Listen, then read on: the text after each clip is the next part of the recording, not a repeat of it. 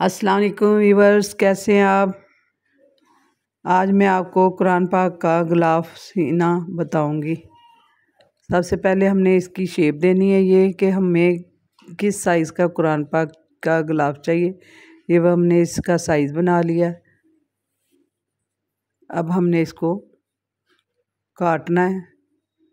अब हमने इसकी ये ये शेप ली है। अब हमने सीधा रख के इसको काट देना है। ये करके अब हमने सीधा काटना है इसको। इस तरह हमने रख के इसको काट देना है।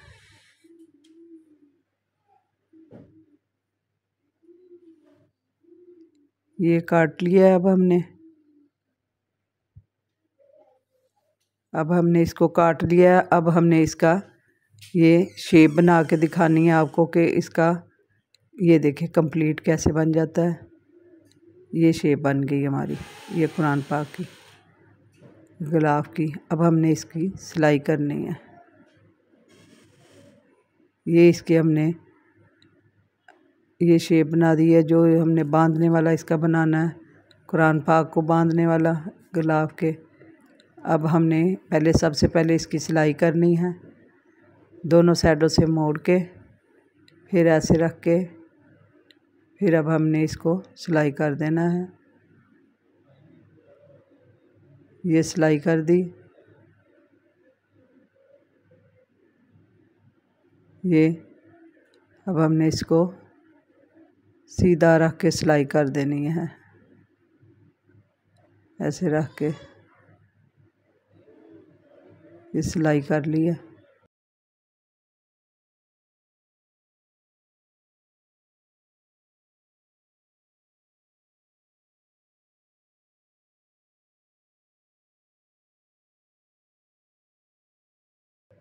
ये सीधी रख के सिलाई कर लेनी है।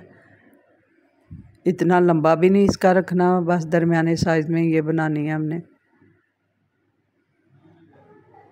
ये सिलाई कर ली।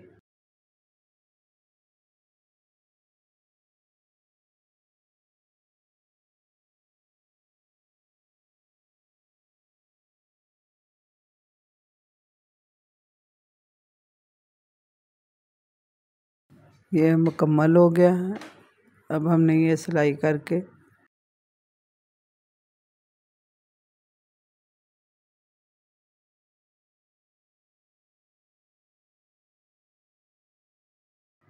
ये कंप्लीट हो गया।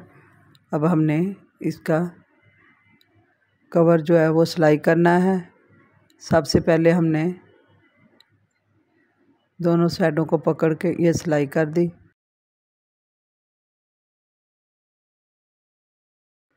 इस तरह। अब दूसरी साइड हमने दूसरी साइड हमने ये पकड़ के ये सिलाई कर दी।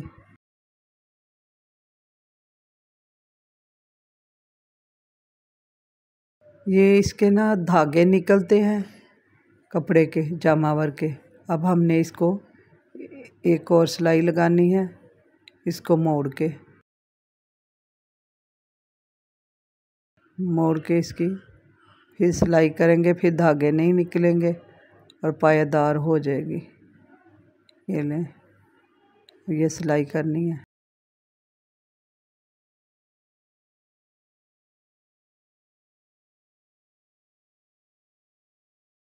अगर इसको ओवरलॉक करना हो तो ओवरलॉक कर लें, अगर ओवरलॉक नहीं कर सकते तो इस तरह की सिलाई कर लें। ये देखें, कितनी अच्छी सिलाई हो गई है। अब हम इसको मोड़ेंगे। ये देखें, इसको यहाँ रख के। नोक से पकड़ना और मोड़ना शुरू कर देना। ये देखें, ये लें। ये मोड़ लिया अब हमने। अब जो हमने वो बनाई थी डोरी, वो अब हमने आगे लगा देनी है।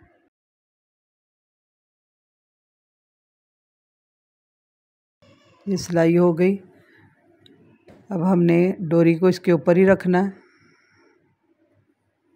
डोरी को इसके ऊपर रख के सिलाई होगी। डोरी जो हमने पहले सिलाई करके रखी हुई थी, वो इसके ऊपर रखेंगे। जी, ऐसे रख के इसकी सिलाई कर देनी है।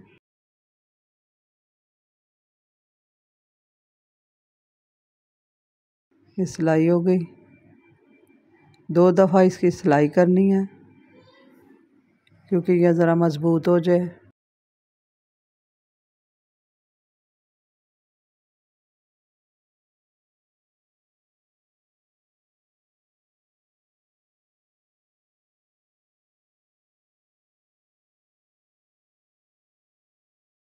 ये कंप्लीट हो गई। अब हमने धागे काट लेने हैं, सारे। अब हमने क्या करना है कि इसके आगे हमने एक फूल बना के लगा देना है, ये देखें। इसको डबल कर लिया। डबल करके इसके अंदर वाली साइड पे ये जो पाइपिंग बनाई थी वो रखनी है। रख ली, अब सिलाई कर लेनी है इसकी।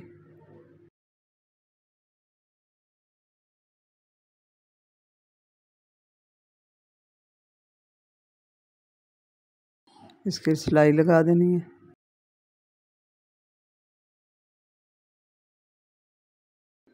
इसको भी हमने डबल सिलाई करनी है, क्योंकि धागे ना निकलें और ये आगे से मज़बूत रहे।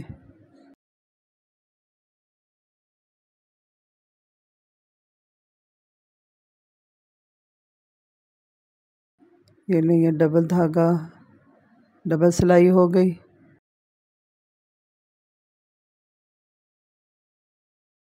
अब हमने इसको सीधा करना है। सीधा करके ये काट लिया। ये आगे हमारा फूल बन गया। ये हमारा कुरान पाक का गिलाफ कंप्लीट। कितना खूबसूरत बन गया है ये। घर में आप तैयार कर सकती हैं और कितना प्यारा लग रहा है ये देखें।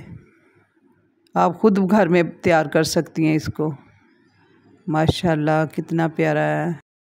मेरे चैनल को ज़रूर सब्सक्राइब करें और इस वीडियो को जितना हो सकता है शेयर करें, ताकि जिन लोगों को गुलाफ नहीं बनाने आते कुरान पाक के, वो ट्राई करें। अल्लाह हाफिज़।